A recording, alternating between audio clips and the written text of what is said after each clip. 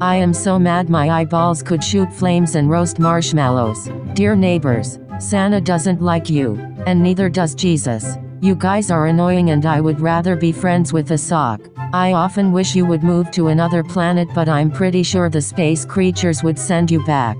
You are the popcorn kernel stuck in my teeth, and the gum stuck to my paw. But I do have a great idea. When our shiny new trash bins arrive this week please put yourselves inside, and take a permanent vacation. Honestly I take that back because the landfill doesn't want you guys either. You are basically that one piece of kibble that just won't go down no matter how much you try to swallow it.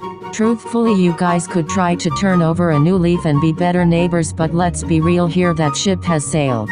I did however hear it is lovely this time of year in Antarctica. So don't worry I will be here to make sure you get the proper send-off howling at the moon singing praises to the garbage gods and celebrating your departure like it's the 4th of July. Happy garbage day. I mean love and huggies.